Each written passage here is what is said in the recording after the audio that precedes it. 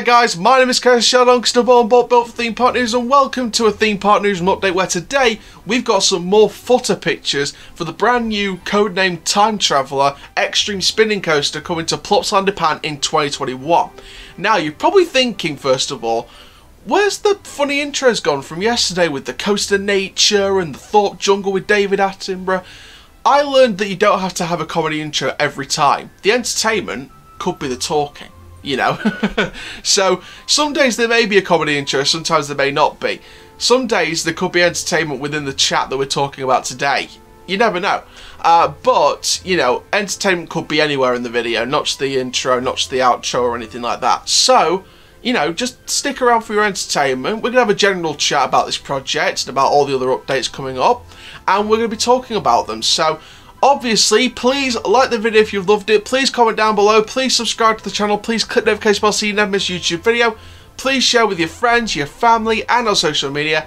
And make sure you keep getting your questions in. We've got plenty more questions coming in, I'm sure, for our next Q&A video for when we celebrate 2,000 subscribers. We're nearly at 1,700 subs. We're getting closer and closer every day. And for now, guys, big shout out to Thorax Changeling. You leave your shout outs in the comments down below for the next video as well. And let's get into this video. So, our good friends Plopsa Updates have been sending over some footer pictures from a couple of days ago on Time Travel, the codenamed Mack Extreme Spinning Coaster, coming to Plopsaland De Panne in 2021. Now we're going to be sharing them, we're going to be sharing the stats of the ride for those of you who are new to the channel, I have no idea what I'm talking about we're going to share my thoughts on the footer progress and hopefully I'm going to talk about track eviction. So let's talk about this project. So codenamed Time Traveller is a Mack Rides Extreme Spinning Coaster coming to Plopsaland De Panne in Belgium in 2021. Now we do have another update coming uh, later on from Wakala at Bellewaerde, but more on that in that video. Uh, now, of course, the length of this coaster, for those of you who missed the last update, is 3,018.4 feet. It has a height of 108.3 feet, a speed of 55.9 miles per hour. It also has 5 inversions. Now, when you compare that to the stats of Time Traveller at Silver Dollar City, uh, it is slightly shorter than Time Traveller. It's definitely higher than Time Traveller. It is definitely uh, faster than Silver Dollar City's Time Traveller, and in terms of inversions, it does have more inversions. So it is the most inverting, it's the highest, and it's the fastest. So it's the tallest and fastest extreme spinning coaster in the world. Now, those footer pictures that are already whizzing about on your screen uh, show some very cool updates. Now, footer work has been continuing and construction has really picked up the pace on the site of this coaster. Uh, there's been footers work spotted uh, near the Super Splash. There's been footer work around the little uh, family area with the, the purple and yellow and the sort of mushroom huts, uh, which is like the little family kind of area. Um, there's been footer work around the back of there. So this, a, you can tell it's a pretty long coaster. It might not be as long as the original Time Traveller from Silver Dollar City, which is the prototype Extreme Spinning Coaster. However, definitely a lot of footer work going on. Now, we've reported on footer work before, quite a few weeks ago now. Uh, and we didn't get another update until a couple of days ago when this when Plopsa Updates sent them over. Big shout out to Plopsa Updates for sending those updates over and continue to do your awesome work from home in Belgium. Now, talking about that footer work then, now we need to start making a guess on track eviction. When will track go on site? I think in the next few weeks. I think between three or four week time frame, I think Mack will send that track over. Now, obviously this could be dented with, of course, the COVID crisis. However, with Germany and Belgium not really being the most affected countries, obviously they're going to keep the measures in place that are around, around Europe, around the UK, around the rest of the world. They're going to keep these measures in place, but I think because Germany and Belgium are the most affected countries right now, I think they can keep the measures in place but still continue the work.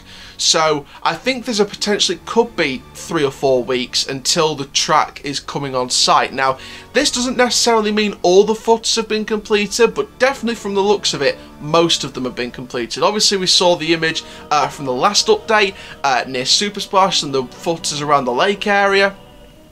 We know that footer work's been completed, and now from these images you see uh, that we've got some more footer work around the back and around the other pretty much the other side of the uh, attraction site.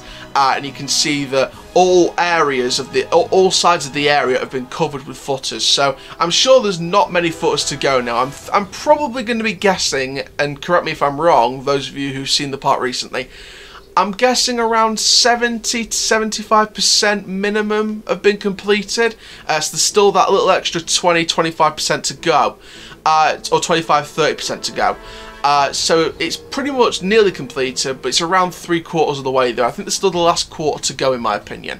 Uh, so obviously, hopefully, in the next few weeks after that, we'll see uh, tracks start to come on site. We'll get to start this build, uh, and hopefully, with the right restrictions in place next year, because don't forget, this virus is going to affect us next year as well on the on the you know rebound and the aftermath of 2020 you know, I think we're going to, with the right measures in place, we're going to see this open for the spring or the summer of 2021.